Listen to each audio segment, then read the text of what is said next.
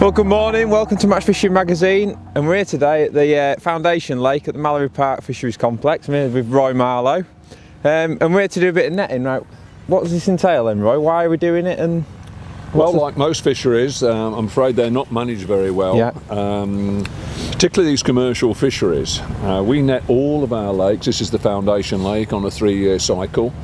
Um, the reason we do that is to take out fish of the size that the anglers don't want to catch. So Yep. normally it's this um, size and smaller.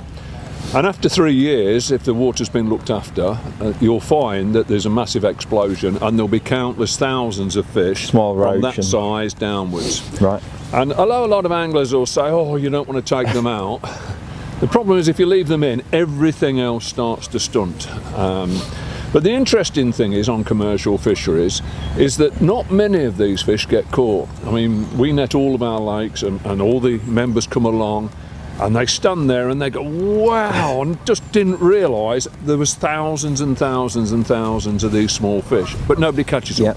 And of course, the reason they don't catch them, most of the time, they're not eating anglers' bait. So I'm not saying you wouldn't catch them if you fished, say, with bloodworms, but certainly things um, like the maggots and the casters, these fish don't eat them. So what they're eating is mainly carp crap, because obviously there's so much high protein bait going in and it's passed through the carp. Easy meal They're eating that. Um, obviously, the phytoplankton, the zooplankton, uh, which really is prolific in a lot of these waters. So the surplus of fish is astronomical. Hmm. Um, and the answer in most cases when a fishery does not fish very well is not to put more fish in, it's to take fish out, sort out the water quality. so contrary to popular belief, if a lake's not fishing well, actually try and take some fish out rather than put more in. Absolutely, there's, there's always a reason why it's not fishing very well. Um, obviously, a lot of the time, it can, uh, and I think the biggest single cause is the oxygen content. Right. We always used to talk about air pressure, which is important, and we talk about the wind and whatever. Uh, but there's so many fish in waters like this. If, if they don't fish reasonably well, something is wrong. Normally, it's water quality and normally it will be the oxygen content, so the dissolved oxygen. Uh, and of course, the more fish you've got in there, and the more crap that's coming from all the food that's going in, the more dissolved oxygen you need. Yeah. There's only three ways you can put oxygen really into the water. The first one is the air pressure. So high pressure is pushing, actually Oxygen pushing into- oxygen in. Low pressure is sucking it out. The wind is important because you can imagine if you've got an acre of water and it's flat, you've got an acre of water, you put some waves on it and it'll double up and of course the, the oxygen can start to get into it. And the other one of course is, is by what we call the phytoplankton and this is where photosynthesis comes in. So that's generating oxygen through the warmer weather, just like you know, the oxygen and the air we're breathing, the oxygen in the air, where does it come from? Of course, it's been generated out there in the oceans by the phytoplankton. Um, so they're the three ways, unless you're going to use artificial means like aerators, our oxygen is going to get into that water.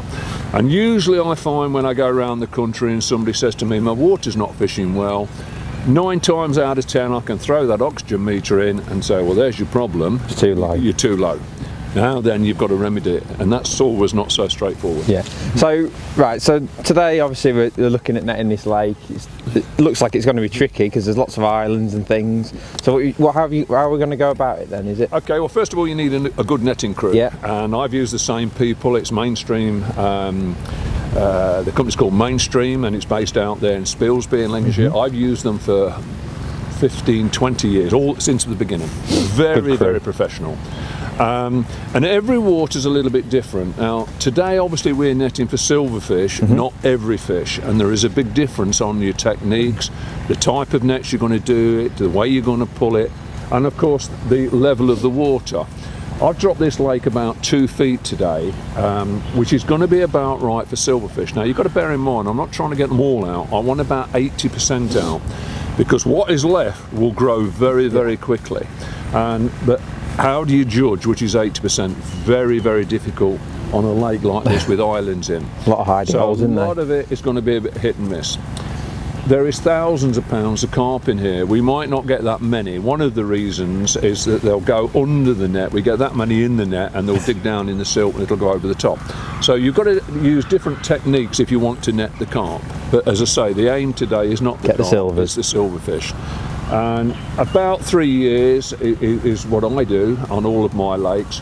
Around the country, some lakes might be four years, but on average, I would say if you've got a good fertile water, you will have a surplus crop every three years. So you're saying that three years ago you pretty much took it back to scratch, Yeah. and in three years there'll be a massive head of silvers. That's right. Uh, nature, Amazing, isn't nature fills the gap. You know, you've got the water will hold what we call a certain biomass of fish, and so let- let- let's just say it was a thousand pound, but it could equally be ten thousand pound. But so if you took half of them out from Mm-hmm. a thousand, and that's going to give you five hundred. What I'm saying, in three years' time, you should be back up to a thousand pound. Amazing. Um, that, that's what nature's going to do for you. Um, but of course, the thousand pound might not be made up of fish of the size and quantity and quality what the angler wants to catch.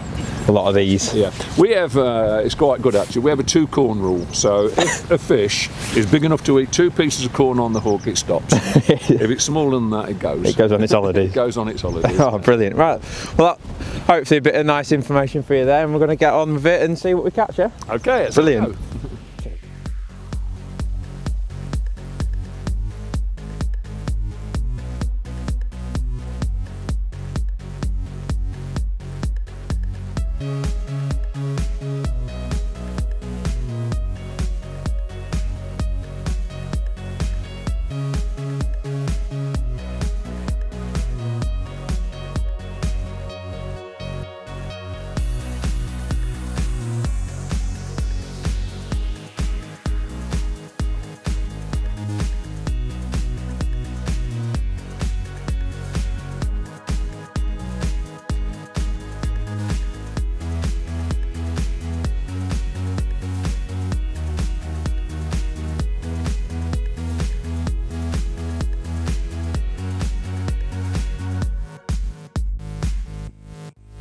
you.